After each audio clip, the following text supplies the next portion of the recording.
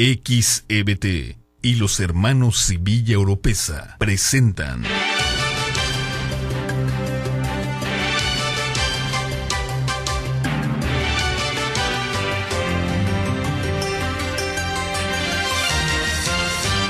Son las 7 en punto de la mañana y esto es Telereportaje, edición 21.896. Hasta que no se dé una respuesta positiva a sus demandas, continuará el paro laboral en el sector salud, advirtió el secretario general del SUSED, René Obando. Mientras tanto, el gobierno del estado aseguró que serán cubiertos los adeudos que se tienen con los trabajadores del sector salud.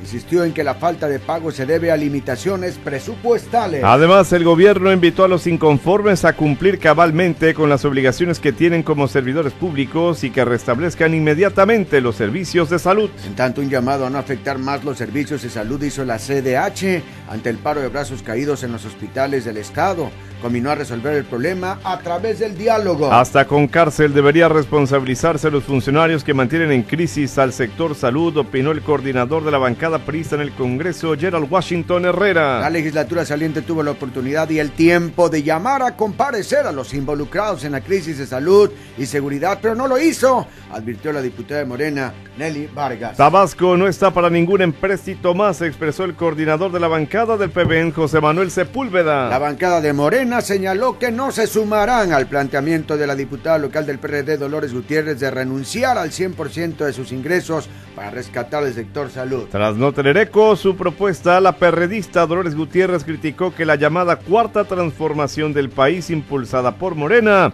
no sea según ella a fondo y en serio. Una vez más, habitantes de Valle Real cerraron por varias horas la carretera Villahermosa-Nacajuca a la altura del fraccionamiento Pomoca. Acusaron que SEAS no les quiere suministrar agua a través de pipas. El SAS estimó que hoy martes podría quedar resuelto el problema de la presión del agua tras la reparación de la planta potabilizadora Villahermosa. La contingencia de los Bitzales fue después que él dejó la Cernapam, dijo su titular Ricardo Fitz pidió esperar los resultados oficiales sobre la muerte de Manatíes. Fitz rechazó que los 200 millones de pesos que se le dieron al Ayuntamiento de Centro para Luminaria se hayan otorgado durante su gestión al frente de Cernapán. Una distribución de llantas ubicada en Ruiz Cortines fue asaltada por delincuentes. Robaron 40 mil pesos en efectivo y diversos objetos. Trabajadores adheridos al Psicobatap denunciaron un presunto desvío de recursos durante la gestión de Jaime Meriterán al frente del Cobatap. Los 35 nuevos diputados locales que ganaron en la elección pasada rindieron ayer protesta de ley y con ello quedó instalada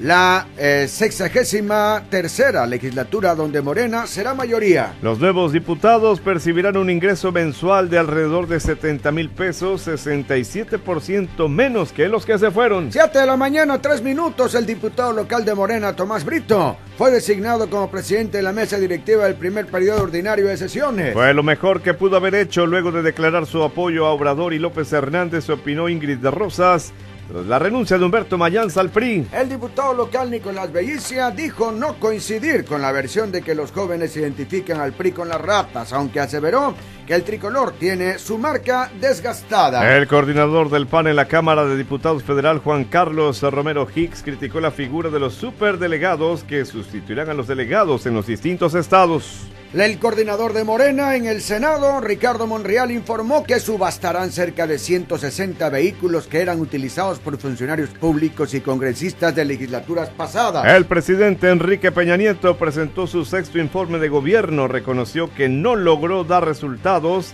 particularmente en materia de seguridad. Siete de la mañana, cuatro minutos. Su sexenio será recordado como el del empleo y la estabilidad económica sostuvo el presidente Peña Nieto en su sexto informe de gobierno. El presidente de la Cámara Baja, Porfirio Muñoz Ledo, afirmó que los informes de gobierno deben volver a ser presentados por el presidente ante los diputados y no en Palacio Nacional. El gobierno de Peña Nieto ha sido el peor de la historia de México, consideró el analista político Juan José Rodríguez Prats. Hoy se presentará la primera iniciativa de Morena en la Cámara de Diputados Federal. Se trata de una reforma para eliminar el fuero de los funcionarios y el presidente de la República. El gobierno de Andrés Andrés Manuel López Obrador otorgará la pensión a los adultos mayores de 68 años y no a partir de los 65 como ocurre actualmente. El ex titular de la FEPADE, Santiago Nieto Castillo, será el próximo director de Unidad de Inteligencia Financiera que perseguirá el lavado de dinero desde la Secretaría de Hacienda. El gobernador de Veracruz, Miguel Ángel Yunes, aseguró que Javier Duarte no saldrá de la cárcel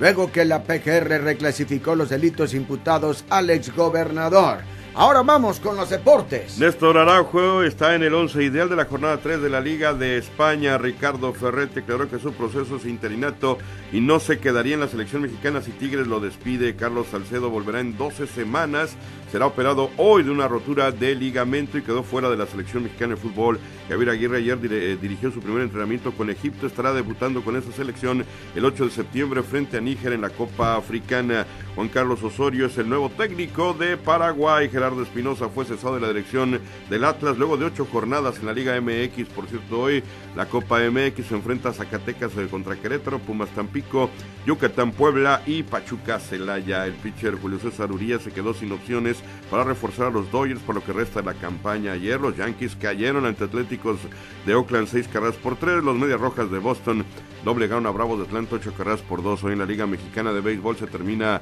la última serie del torneo de otoño. Campeche en Tabasco, Puebla en Oaxaca. México en León, Laguna, Durango, Aguascalientes en Saltillo, Dos Laros en Monclova, Yucatán en Quintana Roo y Monterrey en Tijuana. John Millman, número 55 del ranking de la ATP, dio la gran sorpresa al eliminar a Roger Federer el abierto de los Estados Unidos. El piloto británico Lando Ron Norris será uno de los pilotos titulares de McLaren para la temporada 2019, con lo que se diluye la posibilidad de que Sergio Pérez regrese a esa escudería. La delegación tabasqueña de ciegos y débiles visuales que participa en las Paralimpiadas de Colima han ganado hasta el momento cuatro medallas de oro, siete de plata y tres de bronce.